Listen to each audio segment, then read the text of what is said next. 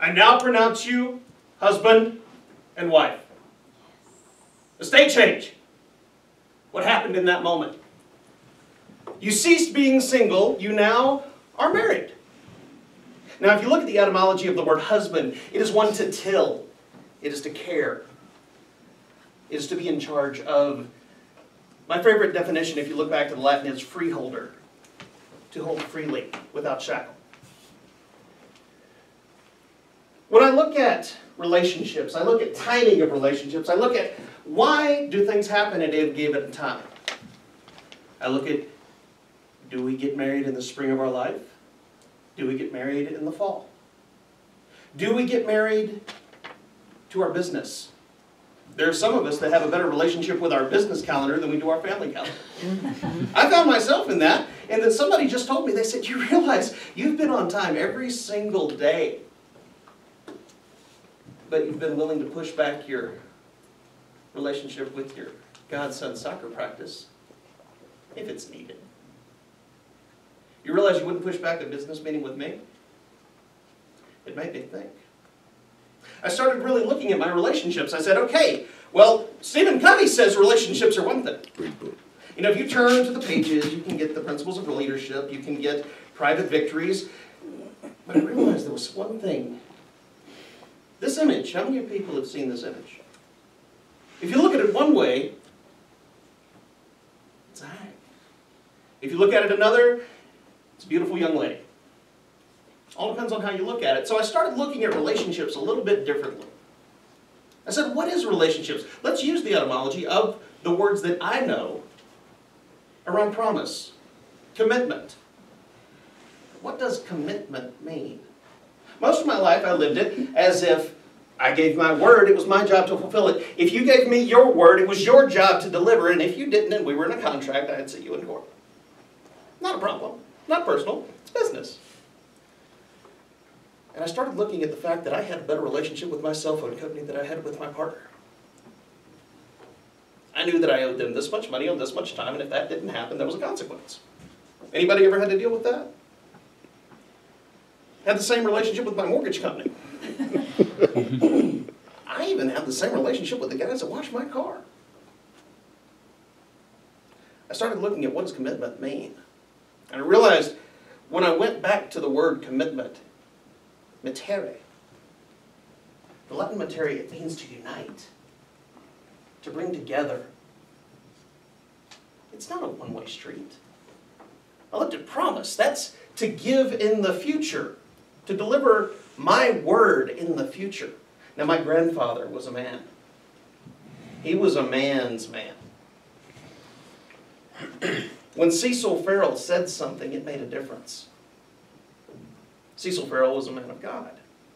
Cecil Farrell was also a man that had a very violent past.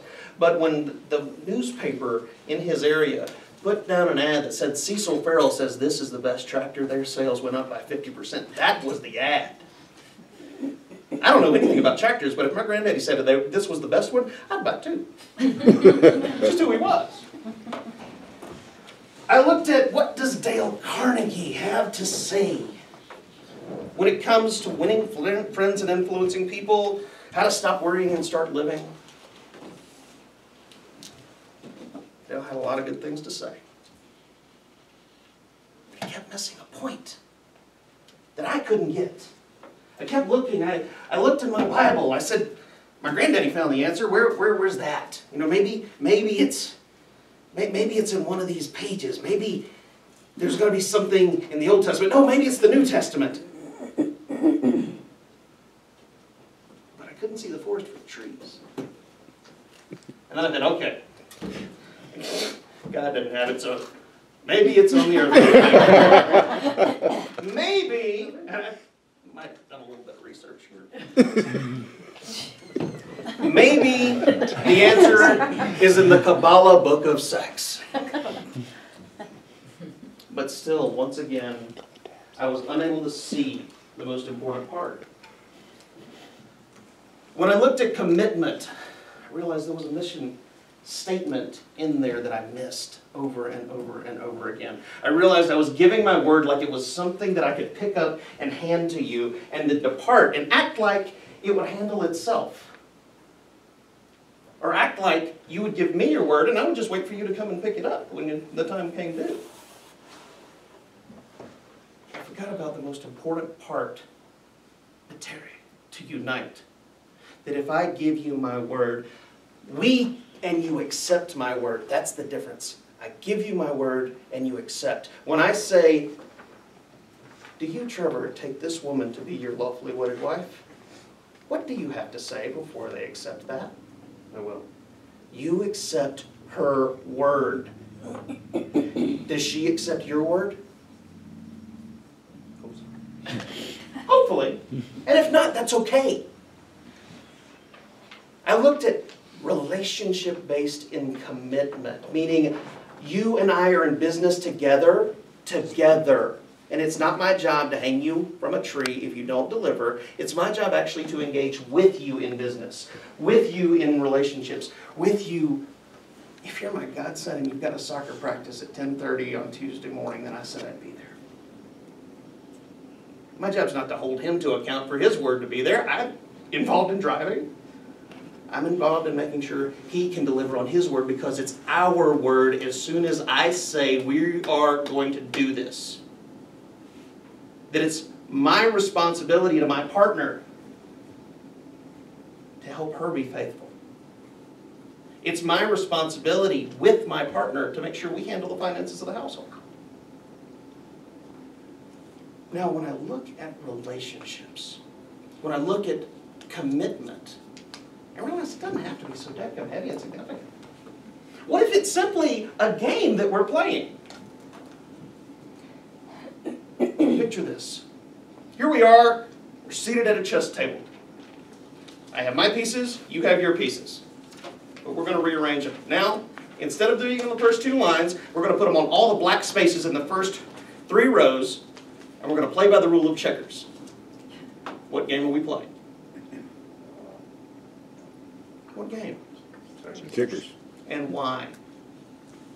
We agreed. We changed the rules. Mm-hmm. The rules give the game. The agreements give the relationship. Now, if we're playing checkers and somewhere in there I take my knight and I decide he's going to go up two and over one, I've quit playing checkers.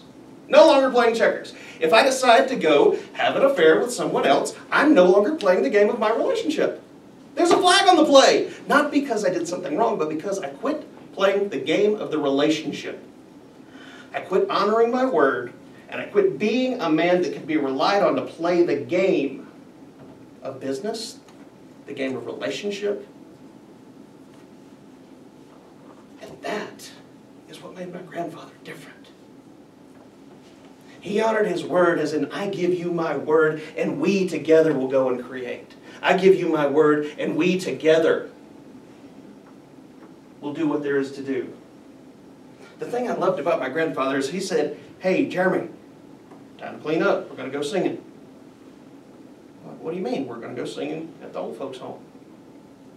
My grandfather had a beautiful voice. And the first time he said that to me, I didn't really understand, and in 15 minutes he was gone. Not because he didn't love me, but because he created his word, and his word was his bond. He was married to my grandfather for 64 years. And it wasn't easy. But he didn't get into it only for himself.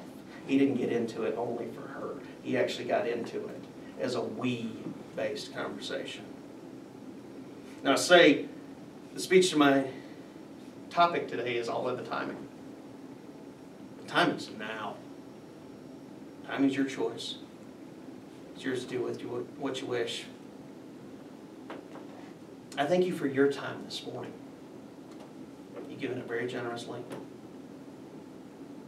And I appreciate each and every one of you for giving me the opportunity to be here